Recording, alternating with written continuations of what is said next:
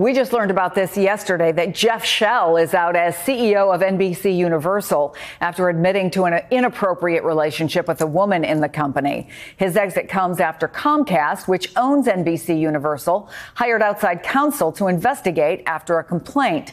In a statement, Shell said he deeply regrets his actions. We should note that NBC Universal is the parent company of MSNBC.